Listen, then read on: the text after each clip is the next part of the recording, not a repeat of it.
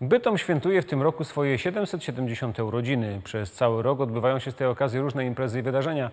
Dzisiaj na rynku z inicjatywy lokalnego stowarzyszenia setki osób zagrały i zaśpiewały wspólnie Tysiąc lat. Fatima Orlińska.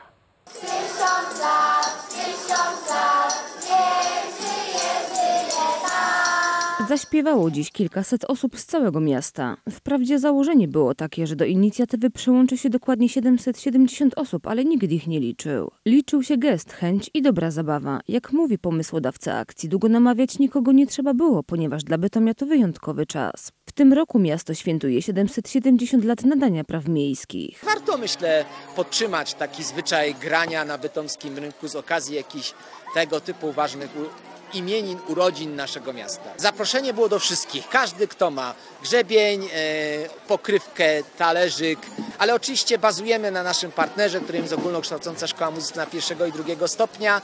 E, no i też zaprosiliśmy bytomskie szkoły, zwłaszcza te, które są tu bliżej, ale tak na zasadzie bardzo luźnej, e, bez żadnej spinki, konieczności, obowiązku. Bytom jest jednym z najstarszych miast w Polsce, a jego historia jest niemal równa historii bytomskiego rynku. To dlatego tam dziś zebrały się setki mieszkańców, by wspólnie odśpiewać nieco mniej tradycyjne tysiąc lat. W oknie jednej z kamienic pojawił się książę Władysław Opolczyk, czyli postać przypominająca akt nadania miastu praw. Głównie dętę to słyszymy tutaj w tle, prawda? Ale również widzę gitary, również dzieciaczki przyniosły skrzypce. Także było ogromne poruszenie, wielka, wielka radość z tego wydarzenia i każdy, kto mógł przynieść coś, to przyniósł.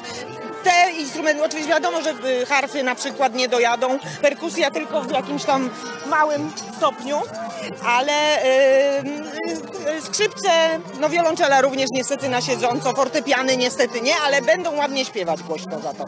W ramach obchodów swoich urodzin Bytom zaplanował wiele wydarzeń, z których część odbywała się już w trakcie weekendu majowego. Wiele z tych, które jeszcze się odbędą, będzie nawiązywać do górniczej tożsamości Bytomia.